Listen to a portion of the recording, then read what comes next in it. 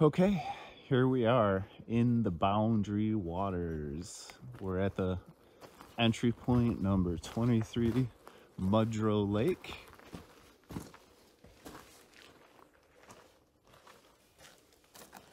And the plan is to get up into Horse Lake for today. So it's nice and early. It's uh, 6.12 at the moment. What do you guys think? You excited? Yeah. We're here. So we got a little portage to start off the trip, to get down into the water. So without further ado, here we go. Here we are, just paddling down Mudro Creek, making our way into Mudro Lake beautiful morning. Just got started. We had to line the canoe a little bit, a little low and muddy, but it looks like we got deep enough water now. Just gorgeous. I'm so happy to be here. All right, so we came to our first obstacle. We got this like little rock dam here and there's another one down there.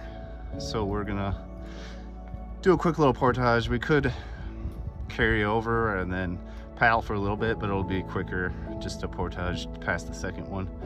After that, we should be home free. But here we go.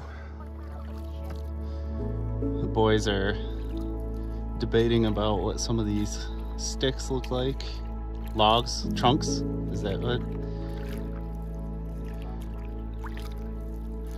But we made it out of Mudro Creek and we're on Mudro Lake now, heading to our next portage. Just absolutely beautiful morning. Lake is calm, light fog on the lake. Beautiful.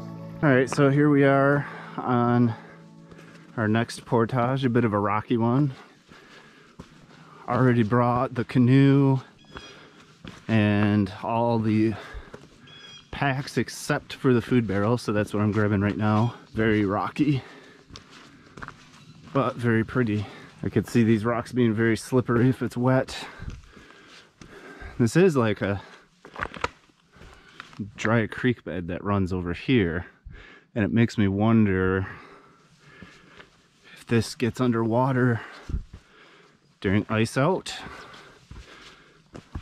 I'm sure it does.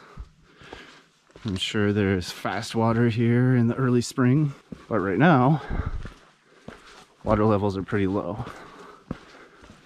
But we're managing. We a couple extra carryovers.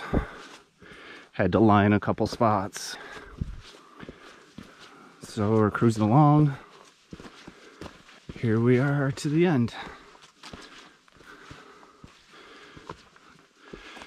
And we'll be off shortly. Canadian Shield rock faces here on the Portage Trail. Really cool, really pretty. It's pretty astonishing. We don't get this kind of stuff at home. Just finished with the portage coming into Fourtown Lake and definitely had to have our billy goat legs to get down this one.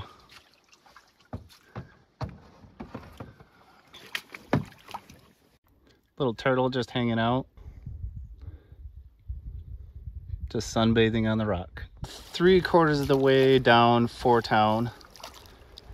And we're gonna come around this point here and make our way to the portages over to Horse Lake. The wind's picking up a little bit. It is hazy from the smoke, the wildfire smokes in Canada.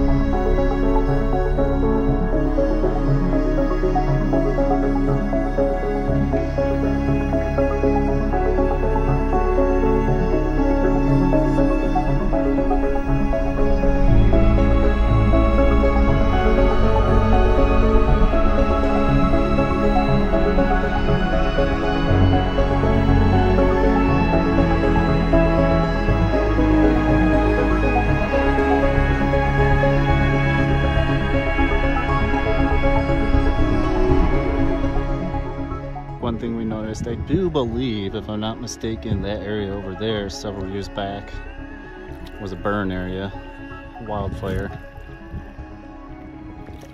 It's grown back pretty well, but you can definitely tell a stark difference.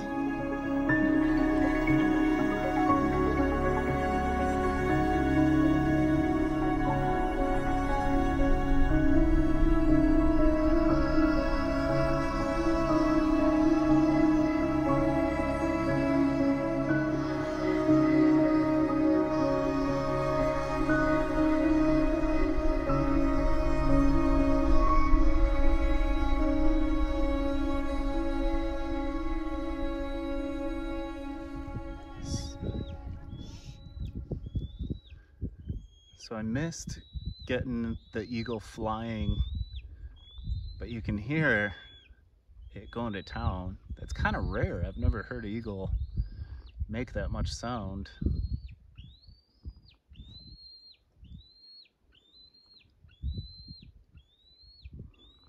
Maybe he's upset that we're here. I don't know. But that was awfully majestic. Show you guys what we're dealing with now. We got this friggin' rock garden that we have to carry over.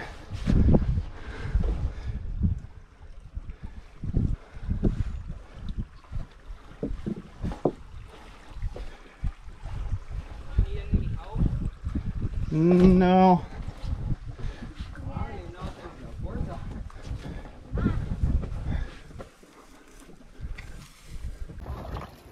Okay, so here we are on Horse Lake, last stretch of our travel for today.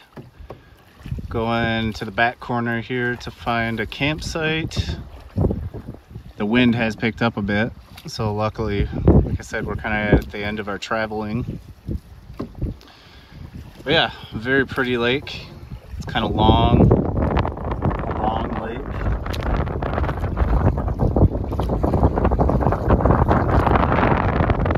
Some more of that Canadian Shield rock. Good stuff. Can't wait to uh, get hydrated, maybe have a bite to eat, and uh, do some fishing. What do you guys think? All right.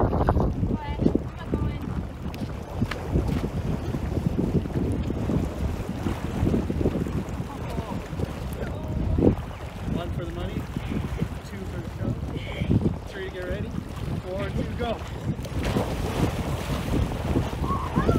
Oh man. Yeah. It's actually like really refreshing.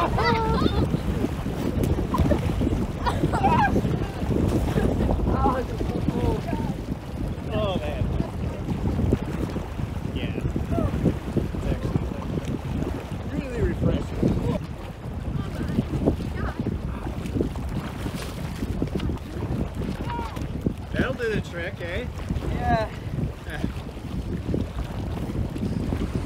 Here we are, folks, on our island site on Horse Lake. Pretty cool site, but it is a windy day. And then the boys are back behind me doing boy stuff, having the time of their lives. Let me show you real quick around the campsite. Got our canoe set there. Got our gear dump here. Just our bags miscellaneous things. Chilling there. Clothesline. Pretty nice fire pit. Table for prepping work on both sides. Sunbathing. Rock here boys have just been kind of chilling out down here quite quite a bit of the afternoon.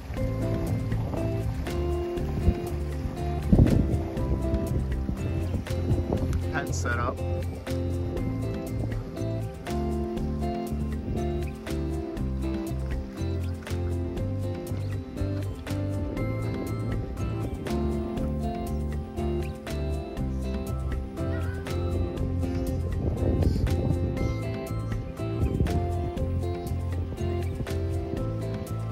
It's uh, it's been a very enjoyable afternoon. All right, so it's about 5:30.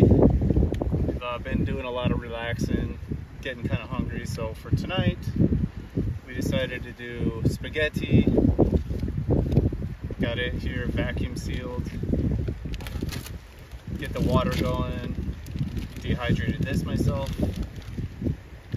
So what I like to do is actually put the pasta in a paper bag and that keeps the hard pasta from wanting to kind of poke the vacuum seal bag which in turn could lose the vacuum seal so it's kind of my method of doing it but anyways yeah so we should be eating here in about 20 minutes. And then we also have um, some naan bread with some olive oil and Italian seasoning and garlic. So yeah, that'll be all good. I'm excited. I'm pretty hungry. Kids say they're hungry too. They're out of frame, but they're agreeing.